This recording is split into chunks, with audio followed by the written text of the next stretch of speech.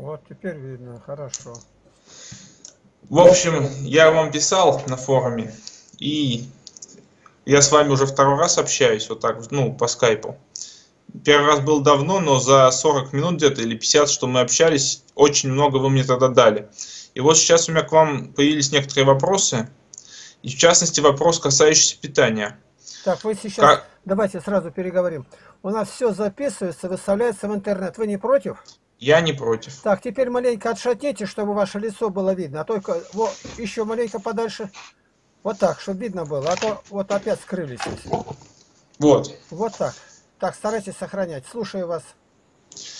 У меня появился вопрос касательно питания. Как правильно питаться? Вот я сейчас недавно, буквально там несколько дней назад, устроился на работу, достаточно такую физически тяжелую. Заключается она в том, что надо керамзит загружать ведра и кидать в трамбительную машину в течение 8 часов. Ну, с перерывом там 9 часов и 1 час это обед перерыв. Вот. И, то есть, тело, как бы, наверное, будет требовать пищу какую-то. Я питаюсь примерно около полбуханки хлеба в день. Ну, потому что, как бы, я взял эпитемию у батюшки, выпросил на 10 дней питаться хлебом и водой. Но я питаюсь около полбуханки хлеба в день, и у меня в принципе, ощущение, что, может быть, это даже лишнего. Может быть, благодать Божия действует, может быть, то, что у меня еще лишний вес есть, он не ушел, и как бы, и я поэтому не знаю, как правильно питаться, и воды сколько пить. Вот как вы посоветуете, сколько хлеба есть и воды пить в течение этой епитимии? У вас физическая работа, и вам нужно восполнять. Как Лев Толстой говорит, если это есть тот, который до утра не спит, там танцует, то у них один клапан открытый для энергии ниже пояса. А когда вы работаете, бывали раньше пильщики, повдоль распиливали, ему, говорит, 4 фунта мяса как раз. И он подробно это описывает. Хлебная еда, монашеская еда, Серафим говорит. Но он только на поклонах. Заснул, подремал, пошел. Ты заснешь, ты можешь потерять сам себя. Поэтому тут надо просто для себя выбрать, что нужно. Конечно, строго держаться православных постов. Вот что положено, вот у нас даже детский лагерь, я начальник детского лагеря был, 45 лет, мы ни разу не нарушили устав, не растить, растительная масса не разрешается, мы его не употребляем, стараемся чем-то заменить. Это ребенок, он растет. А потом, если пост кончился, ну, больше молока, посему ребенок растет, потому что в Англии даже был опыт. В одной школе давали там по стакану молока детям, а другим нет, и через год заметная отставание в росте. Так и здесь. Я вот на пенсии ну, работу все время нахожу, и в деревне мы работаем. Ну, поэтому у нас мяса нету, вообще исключено. И про рыба какие только дни. Ну, молочно, это по, по желанию, где как. И сам себя определи, чтобы пища не сделалась идолом. Ну и доходить до того, что ты поднять что-то не можешь, а кому-то такой работник нужен. Я как работал на корабле и вернулся из отпуска-то, а пост, а приехал домой, отец у нас без руки был с фронта, я там целыми днями навоз вывозить, копать в огороде. Капитан вышел, Фролов посмотрел, ну и что? У меня лицо бледное такое, ну не то, что там, ну видно, что я и куда ты годен? А там канаты, так сказать, я учусь в мореходном училище, но пока матросом работаю. Я говорю, ну а какие ваши тут сильные? Там эстонцы были высокие ростом, крепкие ребята. Двухпудовая гиря лежит. Я говорю, ну давайте посмотрим. Вот он взял ее так, ну как обычно, на руке перевернут, а я вот так вот зажал ее ручкой, стаймя на гире стоит, и пошел ему пока, показываю, сколько поднял, допустим, 25 раз. Потом сзади взял и пошел подниматься, не давая ей до палубы где-то. Капитан говорит, ладно, а никто из них не мог сделать. Почему? Работа работа. И работа дает тебе определить лишнее, тебе никак не будет. Что значит пол кирпича? Ты определи себя. Вот я работал на стройке, на стройке, и у нас, допустим, бетон тачками катать на второй этаж. Тут догадайся, какая работа. А меня с собой что там, два ломтя хлеба и маленько компоту беру. И надо пожевать даже только все. Там работали ФЗУшники, так они меня спасать начали взяли мыша, убили и мне между хлебом положили, чтобы мясо было. Мышку. Поэтому сам себя посмотри, как питаться. Вот мы не раз показывали, какой наш завтрак, какой обед. Зелень должна быть, витамины должны быть. Вот. Что там, летом, от ле... Э, если вы видели, как вот, когда гости приезжают, я делаю, зелень называется, рву, что там есть, листья чеснока, это стебель, лука, одуванчики, репья, там 12 компонентов почти. И ревень, все, все это мелко режут, толку, и суп подают каждому ребенку. Никто не болеет. Это необходимо. Бог так устроил. И сотворил, говорит, зелень на пользу человеку. Всякую зелень. А Василий Великий говорит, мы же не белины обили, что белину есть. То есть и тут надо разумно смотреть.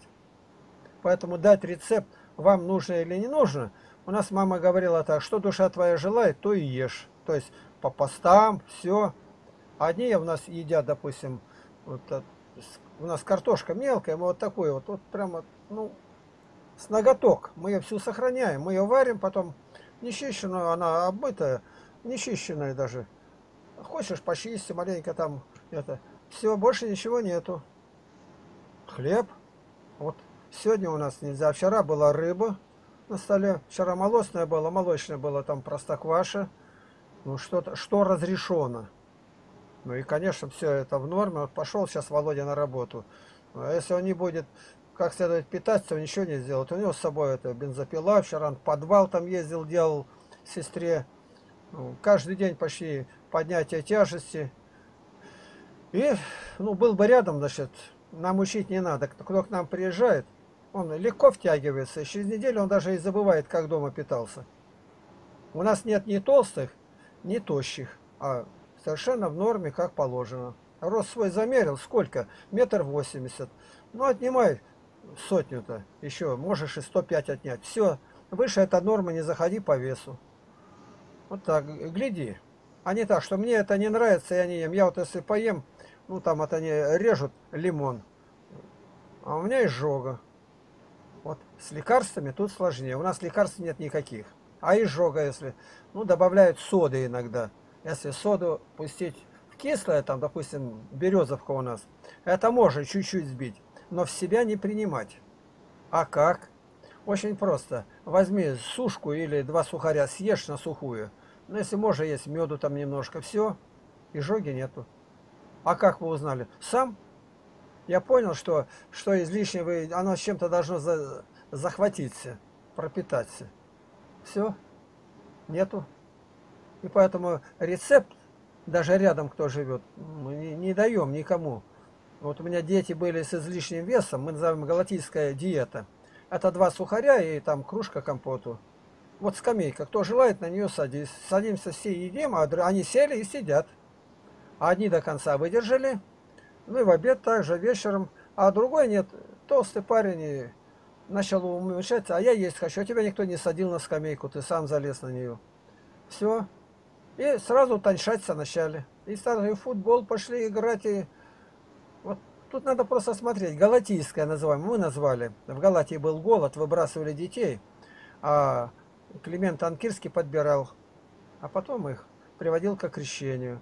И у нас лагерь назывался в честь Климента Анкирского. Мы назвали Галатийская диета. Если излишний вес, мы ребенку говорим и предлагаем, но не заставляем. Она как была, поехала, пышка такая и осталась. Ну, она не может как. Это ее дело. Она избрала. Мы говорим, какие последствия. У тебя будут болеть ноги, вены, глаза, глаукома. Все болезни тебя будут отсюда. А организм, он накачивает сердце, кровь во все клетки тела. А если у тебя доменная печь Череповецкого комбината, ну где ты ее накачаешь-то? Поэтому и болеешь. Болеть э, полезно, когда где-то Господь допускает. А когда ты эту болезнь за себя сам затащил, это другое. Ну, бывает, человек заболел чем-то тем, чем ты и не хотел болеть.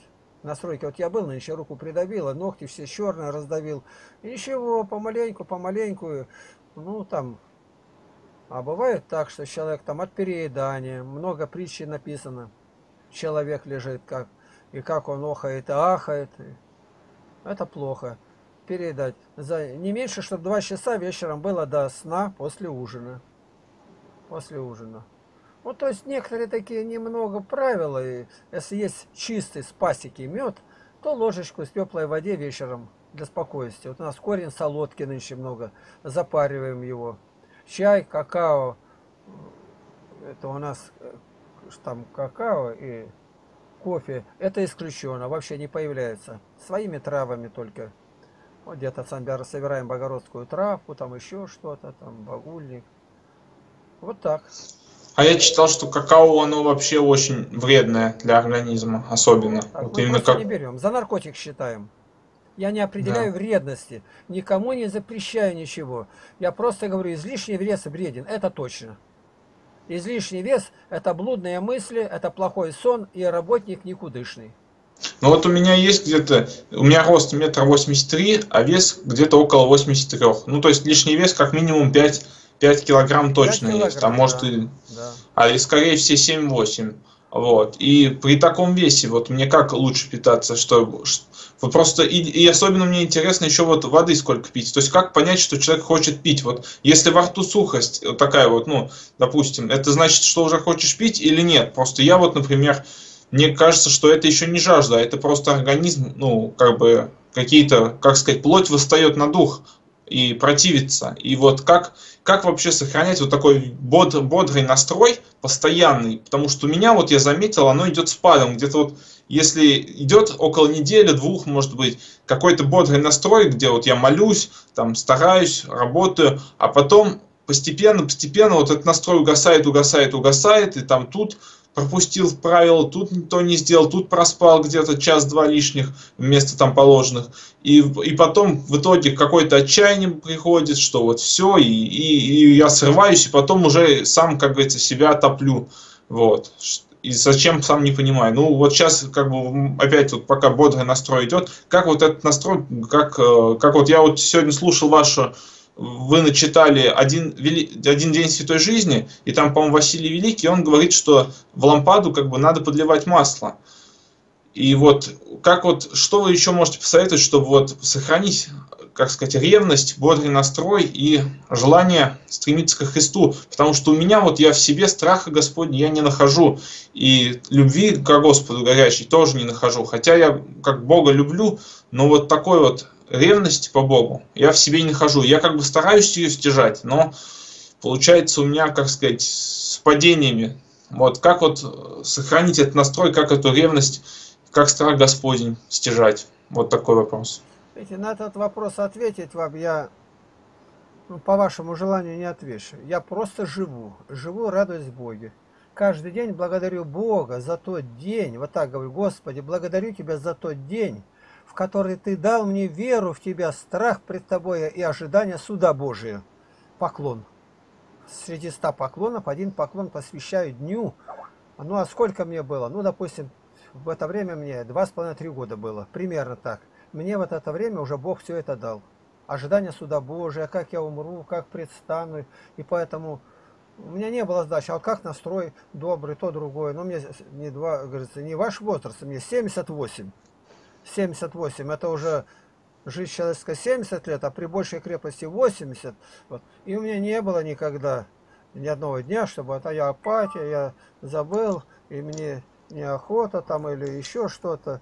Это А вот просто, просто я хотел сказать, извините, что перебил. Вот, у меня, я вашу, я вашу жизнь как бы более-менее хорошо знаю, я вас уже давно смотрю, ваши ролики, книги читал ваши, и я хотел бы про себя рассказать. У меня было, можно сказать, в жизни все наоборот. Я шел путем, к, можно сказать, к лукавому. То есть, хоть я и верил во Христа, и был крещен в младенчестве, и даже Христос меня как бы где-то в детстве, лет в 7-6 на меня собака напала, я сказал, Господи, спаси и сохрани, и она развернулась тут же убежала, он меня спас, но при этом я вот как бы грешил, и потом у меня случился такой момент, что я встретился со Христом в сердце. После того, как я очистил сердце. Но я очистил его не путем покаяния вот в церкви православной, а путем, как сказать, покаяния в группе партизанской правды партизан, которые вот восхваляют Сталина, Зою Космодемьянскую, героев и вообще, можно сказать, такая не, не христианская группа. Вот. И я встретился, когда я очистил свое сердце, у меня мысли стали идти из сердца. И каждая мысль, которая не соответствовала истине, она отзывалась болью в сердце. И это было где-то в течение получаса. Я сначала ну, так, удивился, что вот у меня мысли прямо из сердца идут, и каждая мысль, которая не совпадает истине, на нее сердце как бы болеть начинает. А потом сердце стало сильно болеть, и чуть ли не сердечный приступ хватил. И я испугался и вспомнил тогда про Христа. Я уже хотел, у меня даже было такое желание заменить икону Христа портретом Сталина, потому что я думал, что вот Христос, он, конечно, он как бы Бог и Сын Божий, но он жил давно, а Сталин вот недавно жил, и как бы на него надо равняться. И когда я обратился к Христу, мне такая милость Божия, такая любовь излилась. И это просто невыразимо. И я, а я вместо того, чтобы припасть на коленях и, как сказать, молять Бога, чтобы Он эти милости от меня не отнял, я как-то стал вопросы задавать Богу, спрашивать. Я сначала подумал, что это значит, я могу судить. Я почему-то о себе был такого высокого мнения, что вот я совесть очистил, и теперь я как бы могу всех судить и так далее. И потом я возгордился, и я подумал, что вот я стану Богом таким же, как Христос. И благодать от меня ушла, но она, еще был такой какой-то вот гнев Божий или какой-то такой ух, какое-то такое устрашение, как бы, что, мол, ты себя возомнил, какой-то такой, не, не, но это, это не сглагольный язык, это не, нельзя передать словами. И я тогда, Господи, только бы не возгордиться, только бы не возгордиться, только бы не возгордиться, только бы не возгордиться. Так повторял, повторял, повторял, а потом уже понял, что в сердце как бы такое, как каменное абсолютно, ничего не чувствует, и страшно стало. И я вспомнил тогда ваши советы опять, и начал опять молиться, поезд где-то нашел. И какой, и вот, ну, вот по, по этому пути шел, шел, шел. Но я почему-то сейчас думаю, может быть, вот есть даже такая притча, что вот как бы ко Христу э, в Царство Небесное перелазит разбойник Индия, вот, где через ограду, то есть не двери входит, а через ограду. И может быть это и про меня, вот я такой человек, который через ограду перелез, и как бы что, что мне делать? Христос сказал, стучите и отворят вам, правильно? То есть я вот как бы сейчас, пусть у меня нету вот как у вас вот такой вот благодарности Богу. Она, может быть, есть иногда, проявляется, но такой постоянной благодарности Богу нету.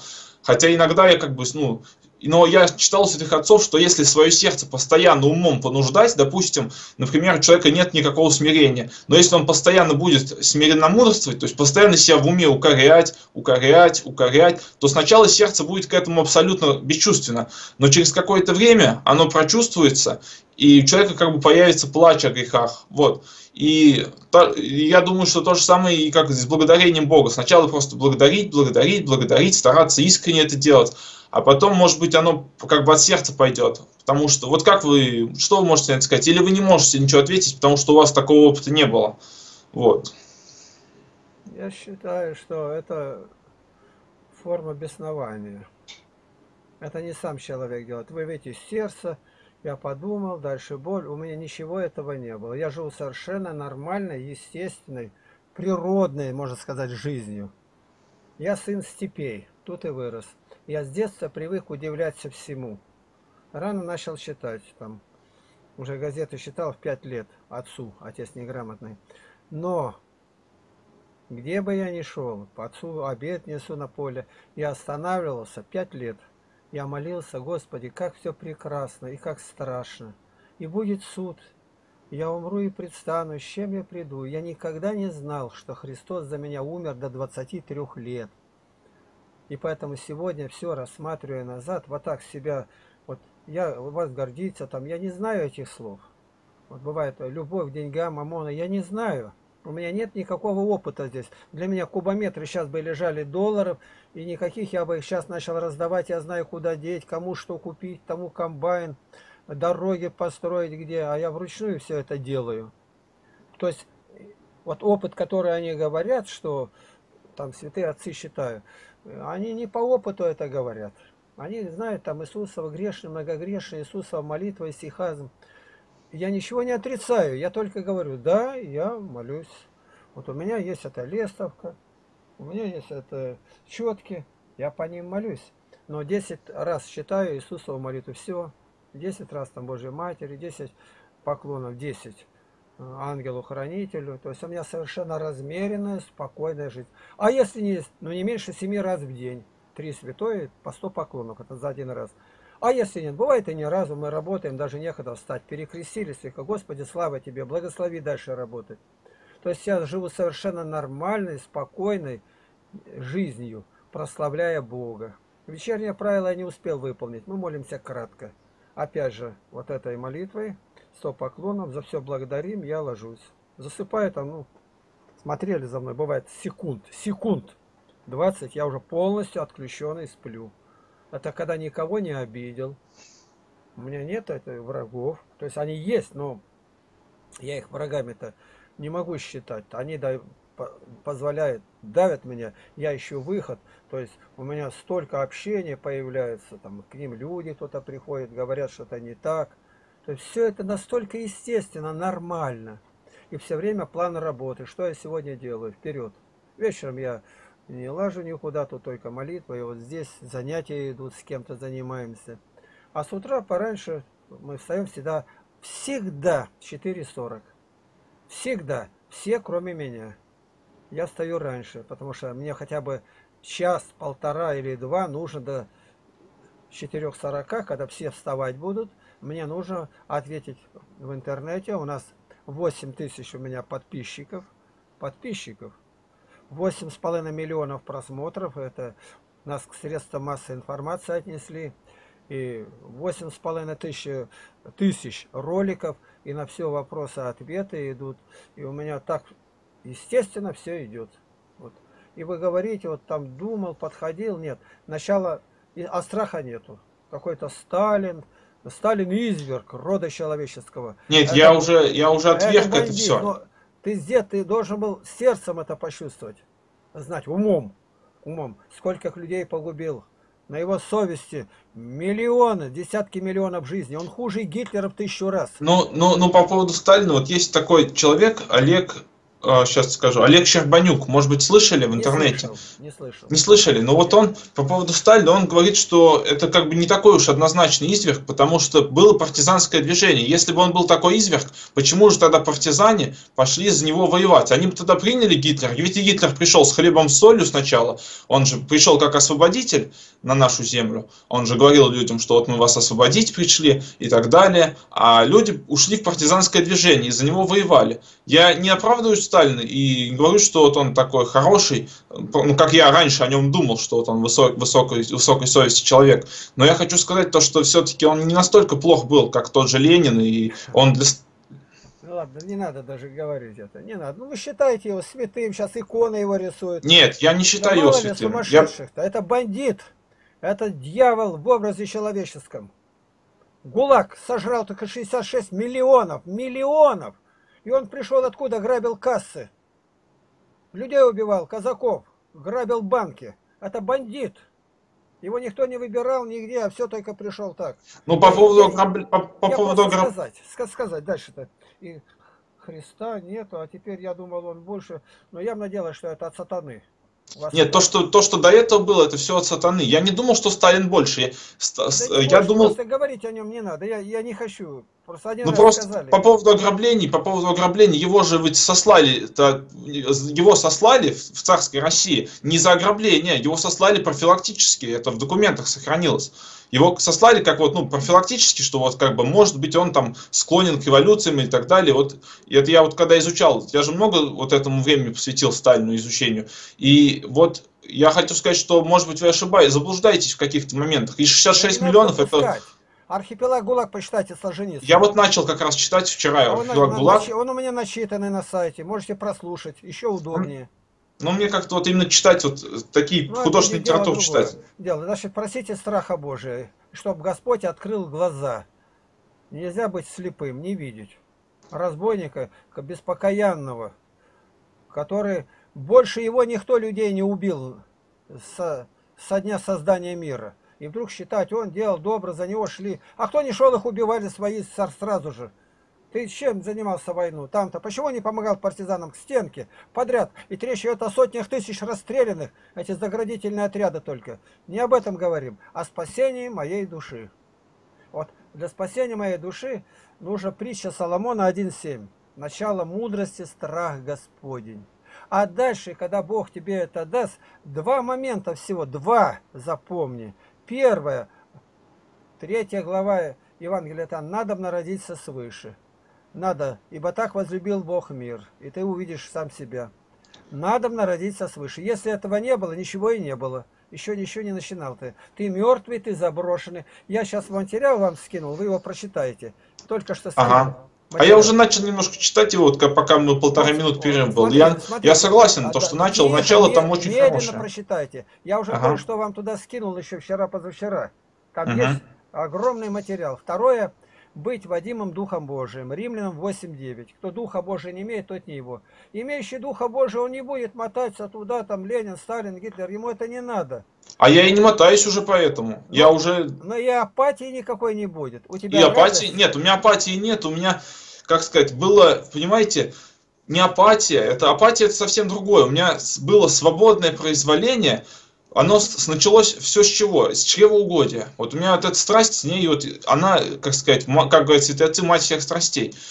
Вот стою я на молитве, я уже как-то, сначала, допустим, у меня как было, вот, допустим, поел я, уже понял, что хватит, а вот смотрю, арбуз лежит, и хочется арбуз взять.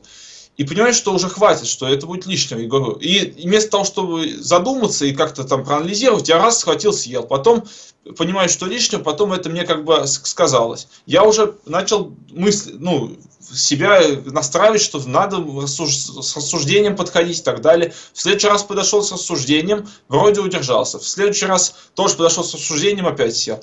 И вот в итоге последний раз у меня как было, стою на молитве.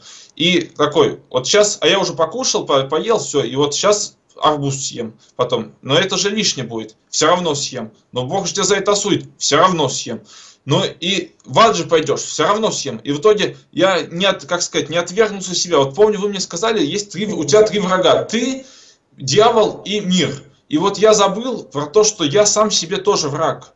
И вот из-за этого у меня свободная воля, она как-то проявилась, а я вместо того, чтобы ее отвергнуть, как-то, ну ладно, съем, съел, еще, еще потом что-то съел, и в итоге потом пришло уныние не такое легкое, и я рас- расстроился и подумал, что вот, наверное, как-то время начало очень медленно тянуться, и я подумал, что все, наверное, как бы я Бога оставил, и что делать, и потом, ладно, там, еще ну, на работе, это когда я был, только я недавно устроился, еще только тяжело было работать, и я такой, «Ну ладно, все, брошу работу, пойду домой и буду жить, как сказать.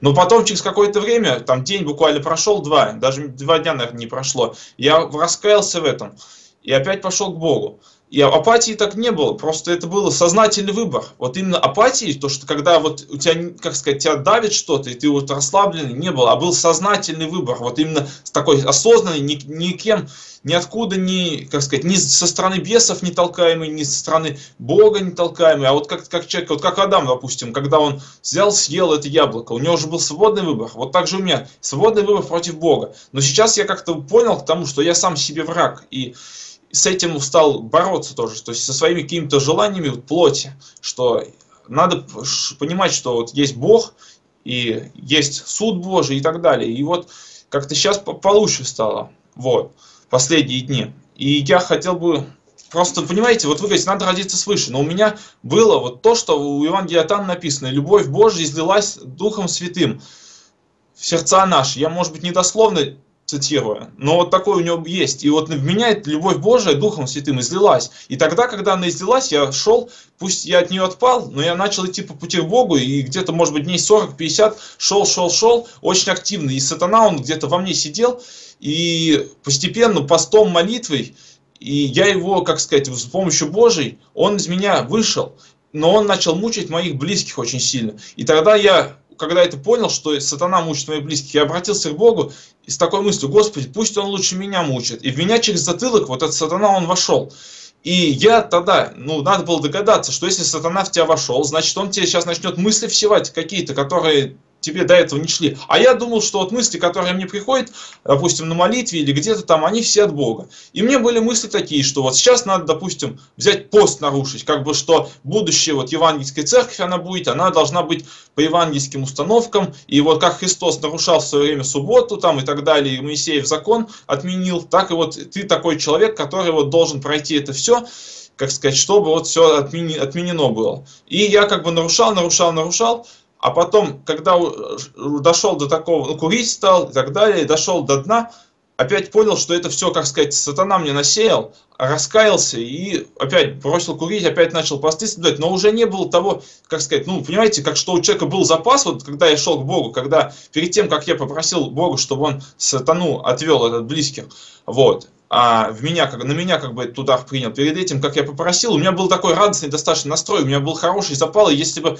он сохранился, я уверен, что, как сказать, все было хорошо, но вот сатана он меня сбил с пути, и потом уже вставать стало намного тяжелее.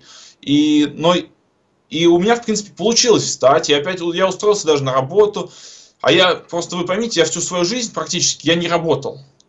Я даже на даче родственникам не помогал, потому что меня как-то вот так вот растили в таком, как-то никто меня никогда ни к чему не принуждал. Я вот рос как такой в абсолютной свободе, можно сказать. Вот. И поэтому для меня это было тяжело, то есть начать такой на физической работе, и сейчас достаточно тяжело, но я вот себя перебарываю. Я зарабатывал деньги игрой в карты, в покер, в интернете, как сказать, мозгами, но это греховное занятие, я это все оставил уже давно. Но и дело в том, что зарабатывал хорошие деньги, но за деньгами я не гнался, то есть мне, мне было достаточно на жизнь, и там на родственников помогать. И я вот это все оставлял. А лишнее, как сказать, за сребролюбие вот такого во мне как бы тоже нету, что вот если бы у меня сейчас были деньги, я бы их тоже все с радостью раздал бы. У меня нет такого, что стяжать деньги, там накопить и так далее. У меня вот основные страсти это чревоугодие, это вот плоть восстает на дух. Вот это основная моя страсть. И вот с этим как бы надо что-то делать. Вот. А вот еще такой вот все-таки вопрос по поводу жажды. Вот как понять, что ты хочешь пить? Вот если во рту сухо вот так вот достаточно сильно, это значит, что человек хочет пить или должно быть какой-то другой, что-то в желудок, допустим, просит пить и так далее. Как вот понять, что хочешь пить? И сколько пить надо в день в среднем человеку, как вы считаете? Или таких средних данных нет у каждого свой организм? Ну, смотря по каким нормам смотреть. Как святые пили, так они через неделю один раз – дожили в пустыне. Вот мы читаем про Моисея, он не пил и не ел 40 дней. 40 дней. А Паисий Великий 70 дней. Сейчас невероятно, скажет, это невозможно, эта энергия должна какая-то исходить от, в него. Не будем спорить. Это, это житие святых и Библия говорит. Вот, пить. А зачем пить? У тебя за столом суп с водой, суп на воде. И даже если какая-то каша, тоже помидоры и арбузы, все это вода. Я не вижу надобности никакой пить, я вот не пью совсем. Ну, когда жара на жаре работаем, сильно потеешь, то, говорят, не меньше двух с половиной литров воды надо. Ну чего мерить-то? Есть сколько там выпил, немного и хватит тебе. Так это когда ты работаешь на солнце, ты не весь мокрый, много воды из тебя выходит, обезвоживание организма может быть. Но голова должна быть закрыта от солнца. Уж не пробковым шлемом, как на юге хотя бы. А сколько пить, ну какая норма может быть поставлена? Я считаю, что если все это есть вода и еще ты, допустим, чай пьешь там с сухарями с чем, то и пить вообще незачем. В тебе воды достаточно. Так это вопрос даже никогда и не ставился. Никогда. Нет, но я имею в виду, сколько жидкости всего употребляется с учетом жидкости в супе, жидкости в чае. Я имею в виду вот в таком смысле. То есть вот за, допустим, я вот сейчас пью ем и пью три раза в день. Я ем хлеб с водой, и воды пью примерно около 700 миллилитров в день, где-то так. Может быть, около 700-800, вот в районе. Но у меня такое чувство, что это очень даже лишнего почему-то. Что мне кажется, что мне надо вообще пить очень-очень мало. Ну, сами себе определите. А лишнее. Зачем оно вам лишнее это? А как вы определяете? Вот мне скажете, я вообще ничего этого не определяю. Мой организм мне подсказывает. А как вот он подсказывает? Вот, вот пить, например, хочется. Как вот в этом случае, что вы чувствуете, когда пить хотите? Вот организм если как подсказывает? Хочу, хочу пить, но если где-то это пересыхает во рту, как вы сказали. И все? Мы, мы работаем на солнце, пилим там, руками пилим или что-то таскаем землю, и ну, просто потеешь и чувствуешь, что слюну проглотить, даже слюны-то нету проглотить. Ну, с а, собой берем вот. воду несколько глотков разрешаем глоток или полтора глотка, там чуть-чуть, не полный рот. Все, каждый глотнул, дальше начинаем работать. Кто-то там руку поднимает нас, работает компания. Вот я пить хочу, подождешь, когда все будут. А сколько раз? Ну, до обеда, допустим, два раза. Также после обеда. Одна бутылка на всех. А если сильно жара, берем больше. Э, наливаю детям. Даже у нас есть в интернете, тут я им наливаю помаленьку, и начиная со старшего до младшего. Каждый перекрестился, выпил. И никогда не ставили вопрос, сколько. Когда все вот. выпили, а вода остается, я спрашиваю, кому еще? Кому? Бывает, другой надо больше. Больше он выпил раз, да еще так хватит, тебе уже лишнее будет. Ты видишь, другие не просят добавки, а ты просишь. Точно так же за обедом. Я не знаю, вот у нас все это без натяга. И так, чтобы стоял вопрос, даже а тем более о питье, не, нигде не указано. Вот бывает, мы считаем в календаре сейчас, какой день, что разрешается, Великий пост. Воздержание, одно слово, воздержание. А воздержание ты сам на себя смотри как ты работаешь. Если я сейчас на пенсии, и, ну, работа такая, вот мы работали, тут сейчас пилили, там все, я же с молодежью все время, и, говорю, ты нас запарил там на работе. -то. Я всю жизнь наш на работе, и для меня этот вопрос тоже не стоял. Но разгружали мы кирпичи из огненных печей. Под ногами брошенные были контейнеры, на которых кирпичные деревянные, они вспыхивали под ногами. Больше двух там часов нету, носом кровь пойдет, из ушей кровь даже идет. А нас гнали в печи. А мне Бог давал такую силу, я работал целый день. Целый день. Это все, конечно, на здоровье сказывается, но кто-то должен был разгружать. Вот, ну, у один так, другой так. Он, допустим, уже сознание теряет. Я ему не скажу, я работаю, ты работай. Я не могу этого сказать, я прораб. А у меня 250 рабочих, а я вместе с ними лезу туда на морозе, мороз 43 градуса, голыми руками к железным рамам, стекло, руки прилипают, пальцы. Оттуда заходишь, дальше козел стоит большой, это спиральный, руки погрел опять на, и на верхотуре, это окна называются, на больших цехах промышленных предприятий. Это настолько было вредно, что у меня поражение нервной системы рук было, и меня комиссовали, руки подвешены были. А потом все, Бог вернул. Вернул. Я и не считаю, что что-то было особое, но главное, что мы сделали все, завод пустили вовремя. Не... Ну вот мне, вы мне очень даже помогли советом, потому что я, понимаете, как вам сказать, вот когда я от, от, от Бога вот эту благодать получил, но в итоге, когда я все-таки от Бога отошел, но это другая целая история, вот, но а, у меня постепенно, как сказать, вот вернулся такой мирской образ жизни. Хотя о Боге я вспоминал и плакал о нем, как сказать, когда вот читал святых отцов, особенно Силуана Афонского, его плач о Боге, когда он пишет, что вот плачет о Боге. И я вот тоже с воздыханием так плакал о Боге, вспоминал вот эту любовь и так далее. Но я жил такой мирской жизнью, питался там три раза в день, там пил чай, воду, ну достаточно много и питался, и воды много потреблял. А вот потом постепенно как сказать, даже вот впал в смертный грех рукоблудия, но я потом начал с ним бороться, уже вот не относительно недавно, начал с ним бороться, бороться, и у меня стало уже получиться побеждать. А потом у меня опять случился такой момент, что я сделал грех против совести, против ближнего в интернете. Я посмотрел ролик вот этого самого меняла, который Сталина восхваляет, не для того, чтобы там чего-то подчеркнуть, а просто мне интересно стало, куда он клонит, потому что я думаю, что, думал, может быть и думаю, что вот это именно их учение, вот оно то самое антихристово религия, которая придет. И вот мне просто интересно было, куда они идут, просто так это или нет, вот как сказать, испытать. И, а у него есть ролики, которые вот сейчас, раньше он для всех ролики делал, и, а, а сейчас у него есть ролики, которые только за деньги он продает. Вот. И я так э, подумал, а вот посмотрю-ка я ролик, который он за деньги продает, но не за деньги, естественно, а вот кто-нибудь в интернете наверняка посмотрел и бесплатно выложил. То есть как бы обмануть систему. И вот когда я это сделал, буквально только начал смотреть ролик, и, а он, кстати, сам говорил, что вот это как бы такие люди, они поплатятся, которые вот пытаются обмануть. Я вспомнил это и сам понял, что я совершил грех против совести. И мне так так совесть обличать начала, такие адские страдания я испытал, вот, и как будто, и было ощущение, что вот это навечно, что вот, и не как, как будто Бога оскорбил, Дух Божий прям вопиял во мне, что вот это как бы, это просто вот, вот то, что до этого было рукоблудие там и так далее, это на совести никак не отражалось. Это, конечно, ум помрачал и где-то, может быть, я жалел об этом, но эта совесть, она вот абсолютно не беспокоила. А вот тут такой, причем грех, он так быстро был, как совершен, мысль, она проскочила, я посмотрел, только включил, и понял, что вот я совершил этот грех, и все.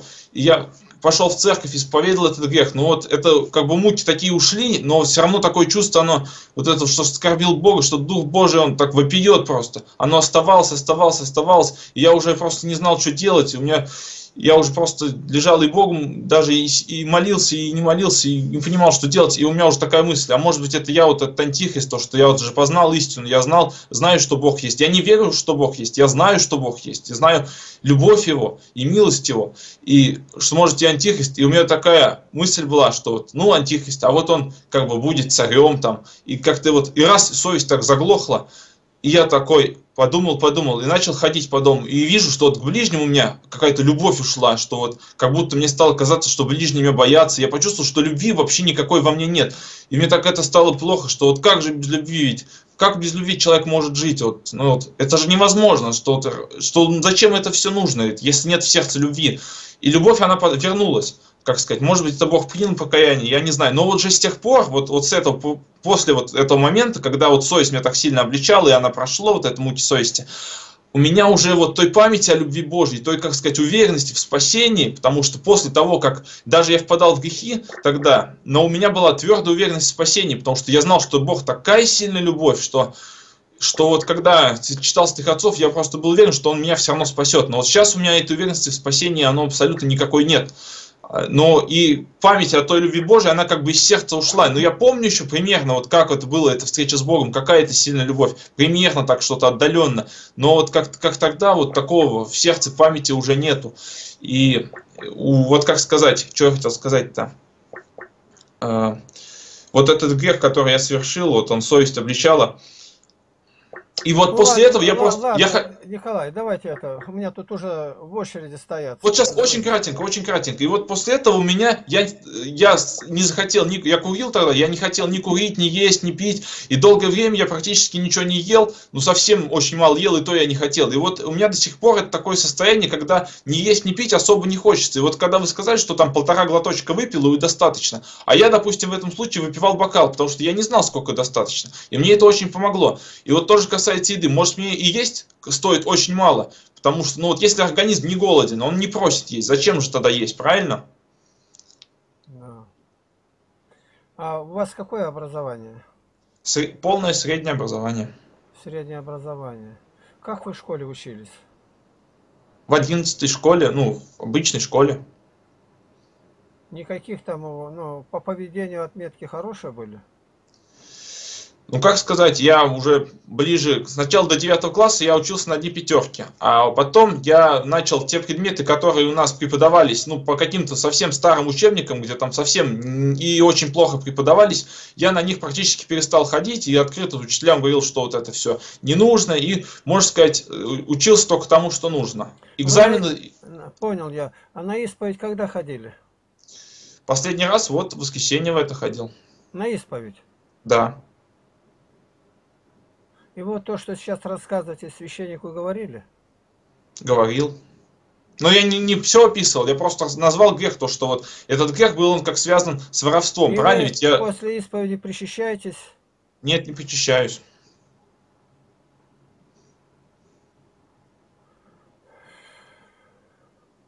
Что же у вас там нет человека, который бы с вами поговорил это все? Духовный такой, чтобы он... Вы Библию как часто читаете? В последнее время очень часто. Вот я буквально ну, целый день провожу или в чтении Библии, или в чтении святых отцов, или, ну как сказать, ну в последнее время вот очень часто читаю и слушаю. И вот близких начал бабушку привлекать слушать Евангелие, и, как сказать, чтобы она запоминала там, ну, как сказать, вам, а то она... Вам сколько лет? 23 года. И, кстати, у меня день рождения очень с вашим совпадает, 10 июня. Вот как. Вот так. Да. Э, то, что вы говорите, это во всех отношениях ненормально. Ни без веры, ни в вере. Хоть как возьми, все это ненормально.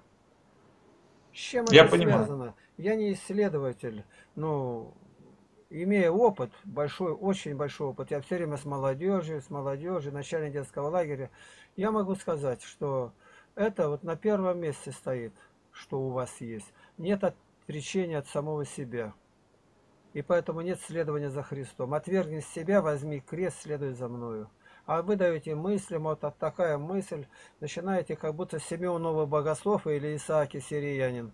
А на самом деле вы даже ничего оттуда не имеете. Вы свой рост не знаете. Телесно знаете, а там можем много знать и быть пигмеем, самым маленьким. Э, прекратите вот эти исследования. Вам надо работать до пота каждый день. Работать и, конечно, мало питаться поменьше, там, если мысли есть там о девочках думать, чтобы не было никакого греха, ни рукоблудия, ничего. Главное, мозги истощает блуд. И сегодня игры. Играли в интернетные игры? Ну, давно уже. Давно. Ну вот... Оно все остается, оно никуда не делось. Дьявол рядом. Это у вас не от Бога и не от человека, это все от сатаны. Что Я говорите? понимаю. Если это так, то для него пост и молитва. Тогда вопрос другой. Вам не надо спрашивать. Пост это полное воздержание. Ни грамма воды, ни грамма хлеба. Это пост настоящий. Но у вас есть священник, вы посоветуетесь, подойдите, расскажите. Христос дал одно оружие, только одно. Никакого... А сколько, а сколько, а сколько поститься? Вот, как, со... Я вам говорил, сколько. Рекорды ставить мы не будем, за Паисием Великим нам не угнаться. Ну сколько вы можете? День можете? День. Ну, Начните попробую. с малого. День. И а не так, а после этого я дорвусь и котел угу. каши слопаю. Э, нет. И пищу самую простую имеете. Вот у нас хлеба нету. Мы все время на сухарях. У нас нету хлеба. Чтобы ходили в магазин, мы круглый год не покупаем. Иногда Володя печет в пищи, свой хлеб тогда есть где-то. Ну, я по частям как бы говорю это дело. И почему опыта нет. Иные говорят, а я вот такой-то наркоман, то у меня нет опыта, то есть опыта этого, я знаю, опыт один есть, страх Божий. Ты умрешь сегодня. И в этом состоянии у тебя надежды на спасение никакой нету, совершенно. Ты вот отсюда исходи и спроси у Бога реки слез, чтобы вода из вас, если много пьете, и выходила через глаза, не через низ. Вот когда Бог это дает, тогда вы увидите, что начнется обезвоживание организма от слез. И слезы будут рекой течь. Это дар Божий. Дар. Я сильный, я служу в морфлоте. В армии вы не служили? Нет. А почему? У меня плоскостопие третьей степени. Только плоскостопие или? Ну... Понимаете, если у вас что-то еще другое будет, там сразу в армии будет заметно. Я не желаю вам в армию идти. Нет, у меня, у, меня пос... у меня уже военный билет есть, но у меня последней степени, причем они ужесточили даже, как сказать, раньше третья степень была более мягкая, они ужесточили, но у меня настолько плоская стопа, что все равно прошло. Ну, Ведь ладно. от... Три, три, первое. В армии вы не были, в монастыре жили? А, ездил, работал, но не жил. Нет, чтобы там в полном послушании не было. Нет тюрьме, в лагере отбывали? Нет, в психбольнице был. То есть ваша, вас все время стоит. Мне Бог позволил все это пройти. И я говорю, благословляю тебя тюрьма.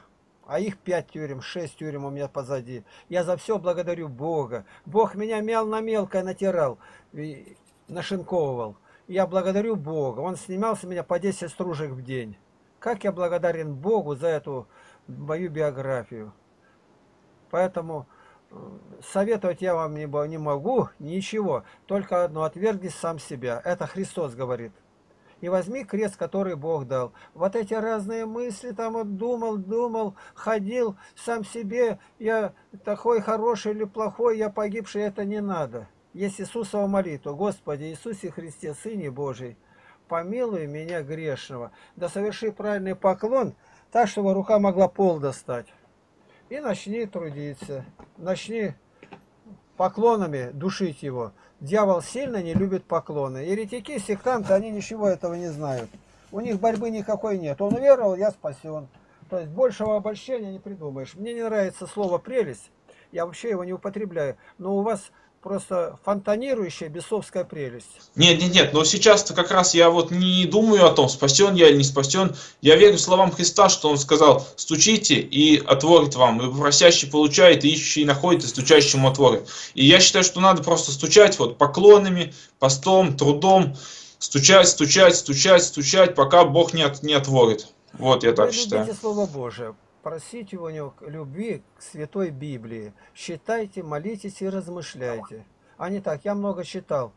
Я насчитывал Библию несколько раз. Насчитывал, не говорю, сколько раз считал, но все время размышления. Сегодня один стих прочитаю, как будто первый раз видел. Первый раз. Почему? А, другой уровень. Я начинаю туда глубже смотреть, что за этим было, как меня Господь брал. Как Он мне говорил, а я не расслышал.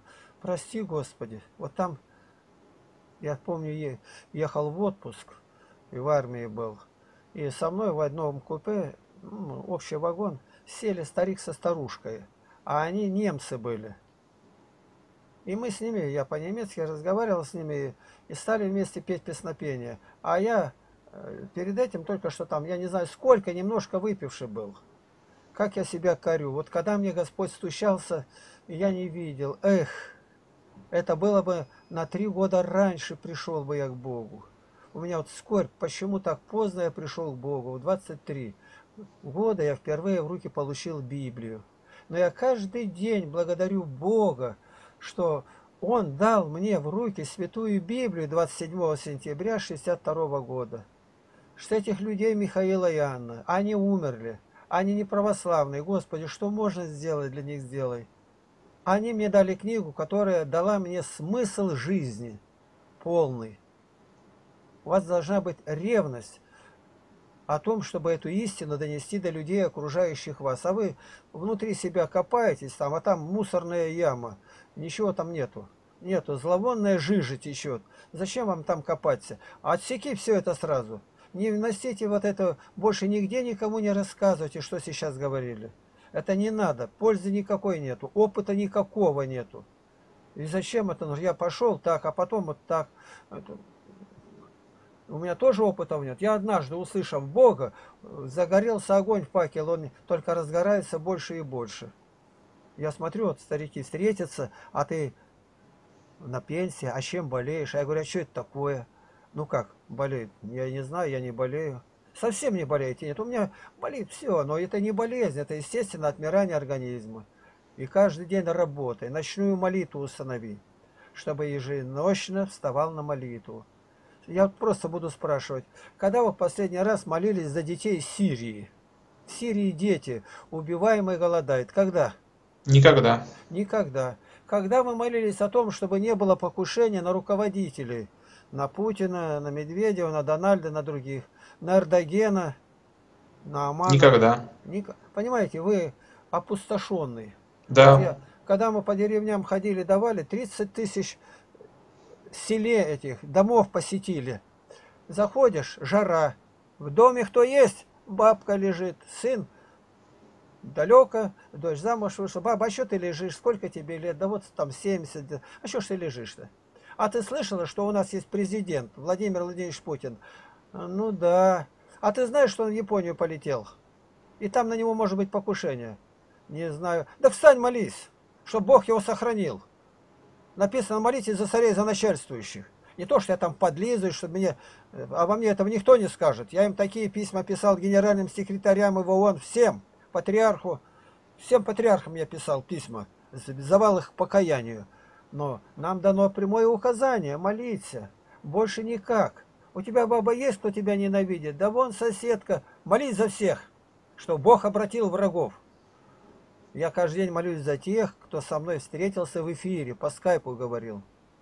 А я не знаю, то за всех пьяниц, которые знаю, я их имена произношу. Имена. За путешествующих, отдельно за болящих. Они мне идут по отдельным категориям где-то. За интернет. Кто изобрел его, я за них молюсь. Кто изобрел телефон мобильный, я за него каждый день молюсь, за Мартина Купера. За изобретшего э, интернет Тим Бернер-Соли молюсь каждый день. Каждый день. Они так облегчили нам жизнь. А люди из этого пакость какую сделали, все показывают, разврат и прочее. Понимаете, вы не заняты ничем. И поэтому у вас, как говорится, с Лениным, со Сталином в башке, как Маяковский писал. Зачем тебе это? Ты только думай о Господе, Господи, как много Ты мне дал, я могу о чем размышлять. Это от Тебя. Я никогда бы об этом не думал. Я готовился быть террористом. Смелым, сильным, отомстить за поруганную родину. Я с пяти лет уже это знал. Слышал от отца, что они делали. А Бог сказал, ты будешь гонимый, тебя будут давить. Тебя будут убивать.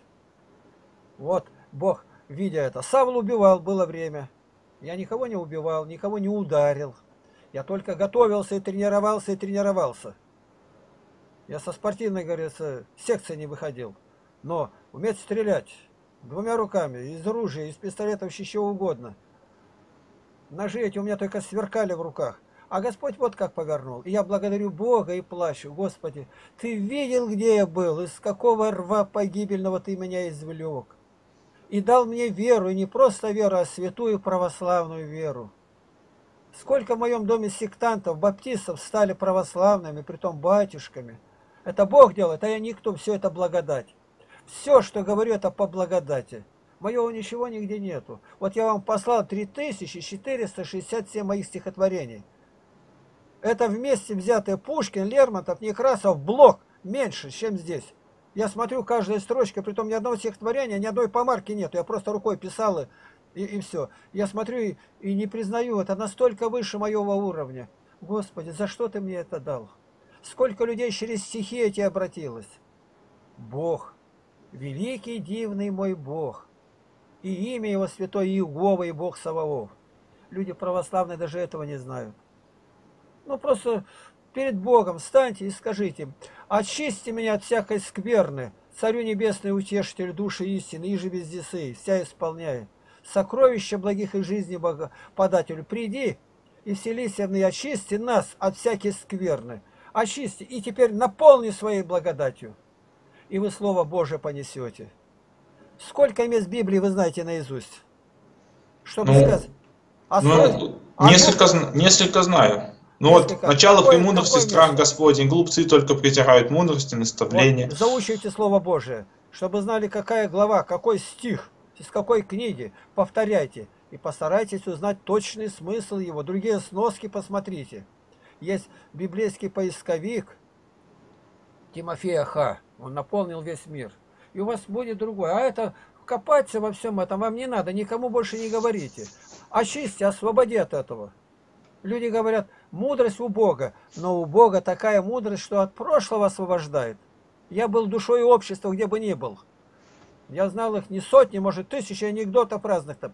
Я поэтому обратился, Господи, очисти мой разум. Я встал, ни одного анекдота нету. Все ушли. Люди не верят, даже неужели это может быть? Я что тебе могу сказать? Я одни стихи, если разных поэтов, 300 поэтов России, мог рассказывать до 6 часов подряд наизусть. Но теперь у меня Бог все это от- отсеял, только нужное осталось. Я искал и нашел. Почему? Ревность.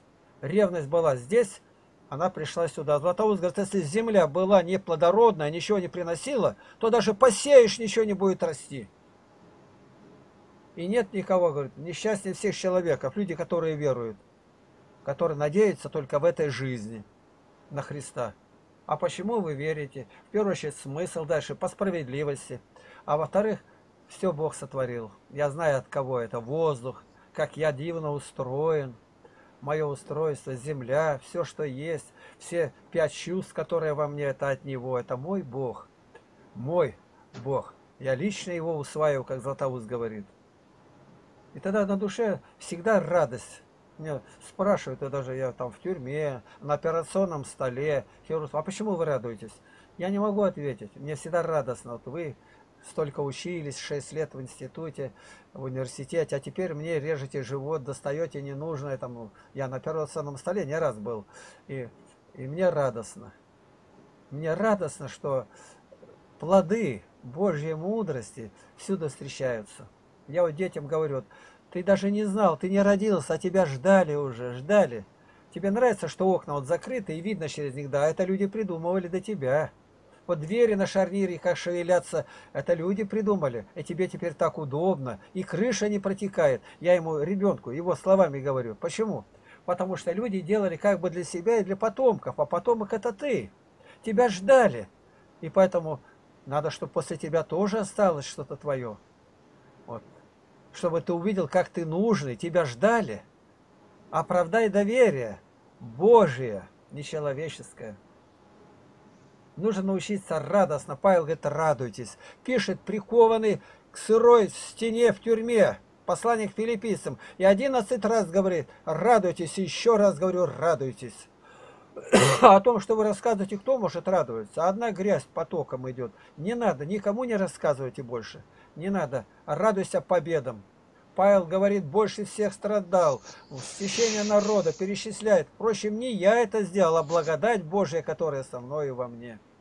Она это сделала. Вот мы четыре месяца были в деревне. Сейчас я только молюсь вслух. Господи, сделай на нами, сохраняя зверей и недобрых людей. Мы столько много успели опять сделать, столько пилили, столько свай забили, дороги, машины, все надо нанимать было за большие деньги. А я, минимальная пенсия. Мне бы только роптать. Вот депутат получает 800 тысяч в месяц, а у меня 6253 рубля. Мне не давали работать по специальности, меня держали только при милиции, в неведомственной охране, а там много не платят, чтобы я был на глазах. Мое место только так, где-то под давлением или в тюрьме. И за это я Бога благодарю. Он, а я свободный, три дня, я печник, 40 лет печником был, прораб. Я делаю печи в три раза быстрее и лучше, чем старые печники даже. Бог мне так дал, талант такой. И поэтому у меня везде близкие люди, кому сделал, и всегда при деньгах есть что дать.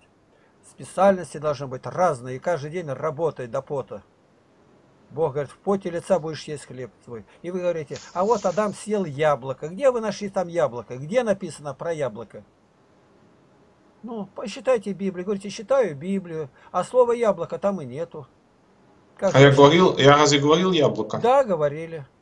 Вы говорили. А, ну может быть, может быть, но я не помню, вот, вот что я именно яблоко. Но я знаю, что он не яблоко ел, он запретный плод съел. Это может быть я просто, как сказать, оговорился. Хотя это, это проявляется. Не вы, одни, не вы одни, это говорят почти все так. Почти Нет, ну, все. Я, ну, говорю, я знаю, что 99% людей говорят так. И говорят, пища не приближает и не отдаляет. Даже баптисты, когда проповедуют, не отда... Я говорю, а где-то написано не отдаляет? Пища отдаляет от Бога. Она из рая вывалила человека. Пищу не продать, не купить при антихристе, за пищу люди душу будут отдавать-то. Считает нету. Да нет нигде, пища отдаляет. А, то не а вот можно вам еще один вопрос? Я просто боюсь, что вы говорите, что пост это только когда ты ничего не ешь, не пьешь. Да, настоящий а... пост. А вот я все-таки просто думаю, как, если я буду такой пост держать, то я боюсь, что потом, как это одна из крайностей, а потом сатана ведет в другую крайность, что вот, как сказать, не выдержу и сорвусь, и что-нибудь ну, лишнее. Может быть, лучше... Поэтому не надо об этом говорить. Ни один святой так не говорит, я не буду есть, я сорвусь, в Ниневе наложили на сколько дней, никто, скотина не ела, дети ревели, никто не ел. У мусульман не едят до, до первой звезды, чтобы белую черную нитку не разрешить было. А если ты будешь есть, тюрьма, тебя задолго там. А там мы привыкли так, что ты нигде не был, тебя долбить надо, давить, и ты другой будешь. А я воля Но, твоя. Если а Игнатий Бринчанинов... по помойкам будешь лазить, крысы называть будут. Тебе надо это? А Игнатий Бринчанинов говорит, что умеренность должна быть во всем, что, как вот, сказать, что пост... я и говорю, что полный пост, не пить и не есть. А дальше православная церковь написано, пища постная, молосная. Я же не сказал, что вы так делаете. Вы желаете делать, делайте. А, а как вы думаете, сатана, он от поста неполного, допустим, а если есть там сухоедение, к примеру, он я и не знаю про сатану, не знаю, я знаю церковь, а я должен быть послушный чада церкви православной. Поэтому мы посты не нарушаем никогда. Нарушаешь, на два года отлучен. Среда, пятница, великий, четыре поста мы все соблюдать должны. Но в этих постах ты можешь накладывать еще дополнительно на себя. Mm. Вот так. Ты добровольно. А не так, я еще нет, а как бы хуже не было, еще бы не было. Ты уже себя накачиваешь на то, а сатана стоит и в ладоши хлопает. Он уже все сдался, у тебя же белый плак. Вылез из-под простыни-то. Вставай рано, в 4.40, по-нашему. В 4.40. И днем никогда не ложись. Никогда. Меня вот полвека жена не видела, чтобы я лежал. Никогда. Ну, не считая, когда на операционном столе только. Надо, допустим, сейчас я изнемогаю, я сел где-то, головой откинулся там к стенке, 15 минут, все, и опять вперед. Короткая, мгновенная жизнь проходит. Работай как Федор Фомулевский, поэт писал, работай руками, работай умом, работай без устали ночью и днем, а там уж что будет, то будет, пускай так. Ну же, работать мы дружно давай. Вот так. А это что делал, не знаю. А во сколько встаешь? Да по-разному. Вот, ну, ну все такое квашеное, кисель, медуза. Человек должен как кремень быть. Чтобы еще враг не вышел уже, он понял, здесь ему ничего не удастся. Ты должен быть руководитель своей душе. А для руководителя, лидера, нужно шесть качеств. Шесть. Запомни, первое это воображение. Ты должен понимать, вот я буду сейчас так делать, какая работа, сколько денег еще построить, сколько есть пить. Воображение. Дальше. Знания. Знания должны быть большие. Очень большие знания. Ты должен все знать. Все, что окружает тебя. И поэтому ты будешь интересен для людей. Ты конкретно будешь заниматься с молодежью. А так, что сидишь, сам себе ума не дашь. Дальше. Умение. А знать одно, дальше уметь. Четвертое качество – решимость. А почему мы не можем? Серафима спросили Старовского. Он говорит, решимости не хватает. Дальше. Шестое качество. Пятое качество – беспощадность. Беспощаден ты должен быть ко всем недостаткам своим. Когда тебя обманывают, беспощаден. Не бойся потерять этих людей. Договорились сделать, а его нету. Все. А раз, другой и кончено на этом, как Павел. Уже Марка не взял больше. Он покинул их путешествие, апостол Павел. И шестое, самое трудное качество – привлекательность. А кто тебе будет искать тебя? Кому ты такой нужен? И никакой отвлеченное понятие, и имя нет, и ники придумали, аватары. Это все для таких людей, у которых ничего нету. Честный человек не будет прятаться никогда. Ники, аватары, эти все придумал сатана. Или конфессия, деноминация. Нет этих слов. Под этими словами везде одно слово скрыто – ересь. Есть церковь, есть ересь. А вы какой деноминации? Никакой. Я в церкви нахожусь. Святой Православной Церкви. И вы что, считаете патриарха Кирилла благодатным? Конечно, он патриарх. И разговоров нет. Да вы знаете, у него там миллиарды, у него там... И знать не знаю, и знать не хочу. А вы знаете, у него там... Все, больше не говорите. Еще один, одно слово, я вас выключу, в черный список занесу. Все на этом кончилось. Вы не по адресу попали, говорю. Я должен заниматься своей душой, работать. Работать. Сейчас поговорим, я Сегодня уже я слазил на голубятню у Севапола. Голубятня у меня, голуби. Вот. Я занимаюсь конкретно. А какие специальности? Разные. Я вот переплетчик, реставратор книг. Тысячи томов. Я дрессировщик собак. Я в уголовном розыске тружусь. Я работаю в тюрьме. 17 лет. Все это бесплатно. Самое это главное. Иду по камерам. 3700 человек слушают меня я записываю записи. Здорово это, да. Я могу определенно сказать, что у меня поручение от Господа Бога идти и свидетельствовать. И у меня трудно найти место, где я живу, где бы я не проповедовал. Пять отделов милиции районных в городе Барнауле. И в них я регулярно вел занятия. Городское управление и краевое, это сотни офицеров. Я перед ними выступаю на определенную тему, которую задают. В пяти университетах одновременно веду работу. Десятки школ. Это одновременно все. Три радиопрограммы веду. Три радиопрограммы постоянно, как составители. Представляете, сколько времени? Во всех воинских частях. В тюрьме, в лагере, на заводах, на фабриках, в прокуратуре, в КГБ, в судах. Везде и всюду. И думаю, что более востребованным в России в годы перестройки, чем я, не было нигде, никто. И с сектантами беседы, и, и везде. Почему? Я открылся и сказал, Господи, возьми меня и веди. Это труд. И одновременно еще начальник детского лагеря. Это снабдить, набрать детей, сохранить. Ни одного повреждения. 45 лет бесплатно. Набрать команду, которая на 100% будут отданы и верны, ни один не обманет. И за каждого ребенка я несу ответственность уголовную перед Богом. 45 лет. Теперь уже 46. Понимаешь как? А то работы нету, вот корчужится все, работы нету. Я хвалюсь моим Господом, что Он меня избрал на это. Так я не все перечисляю. Мы деревню строим. Она одна на 21 тысячу погубленных. Одна такая. Где не пить, не курить, не воровать, не материться, а составить устав, жить по нему. Интересно? Да, интересно. Если бы было интересно, а нас бы фильмы не снимали. Снимает фильм, он занимает первое место на международном киноконкурсе. Второй фильм – первое место в России. Я хвалюсь моим Господом, что Он позволил мне увидеть, как интересно жить на этой земле для Бога. У меня не было вот уныния даже одной минуты в жизни, а мне некогда. Женщина потеряла мужа, пошли сыновья там э, на фронт. Как вы себя выйдете? Она говорит, работа. На заводах, я, говорит, там и спала у станка. Как бы не работа, я с ума бы сошла. И поэтому работа. Как Антонию, работа и молитва, работа и молитва, работа и молитва. И молитва не просто так, а ты должен определенно, конкретно знать, о чем молиться. О чем? Я вот спрашиваю, ты о детях Сирии молился? Нет. А о руководителе молился? Нет. Ты о папе римском молишься? Да заранее могу сказать, нет. Даже Венедикт ушел на покой, а мы каждый день его имя поминаем. А о старобрядцах молился? Нет. Вы ну, я о близких молюсь, о тех, с кем а, встречался. Близких. близких это все знают, близких. Близкие. А близкие это кто обратились к Богу по-настоящему стали? Если ты такой, кто?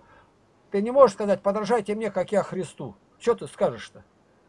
А Павел говорит, подражайте мне, как я Христу. И это может сказать каждый, который рожден свыше живет для Бога. Вот так. Так что поговорили, мы на этом все. И угу. больше никогда не возвращайся на старое. Вас будет тянуть, это еда, там, то, это все из одного мешка идет. Да, да, да, да, да. Сон, тянет. еда, они одни не бывают. Рядом идет блуд. Блуд. Ты погаси, говорит, подчревную, чревную страсть, а потом подчревную. Погаси. Не думай. Женщина это смерть. Горше смерти, Соломон говорит. Горше. И ты увидишь, как это есть будь кому-то помощником в каком-то деле. Общее дело, литургия объединяет людей, а не то, что я пришел и ушел. Ты узнаю священника, что ты можешь помочь, как, куда-то поехать. А куда тебя послать такого? Ты рохля. Нельзя так жить. Срам. Другого слова нету. Я был там, а там подумал, а потом так, потом так. И что ты прыгаешь-то, как кузнечик? Ты пошел за Христом, планку подними, как положено, выше. А не что, положил ее в грязь, перешагнул. Я ее выполнил. А ты не бойся. Мне вот приходилось быть в больнице. Они утром приходят после операции, там манную кашку принесли. Я говорю, сейчас пост нельзя. Как пост? Я говорю, ну пост идет, рождественский. А, а что же будете есть? Я говорю, да пять дней осталось до Рождества, я и так пролежу. Как? Ну да так.